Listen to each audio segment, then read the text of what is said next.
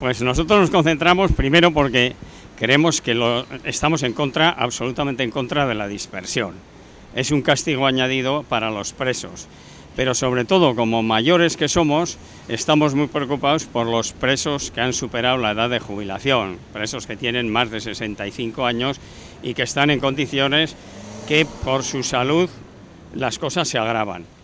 Y luego también queríamos resaltar que también los familiares, sobre todo los mayores, nosotros siempre nos referiremos a los mayores, puesto que nosotros lo somos, pues tienen muchas dificultades y para una persona mayor tener comunicación con su hijo o con sus nietos es fundamental y no pueden hacer esos viajes. Así que pedimos suprimir la dispersión y que los presos estén cerca para que sus familiares puedan por lo menos visitarlos y convivir algo con ellos.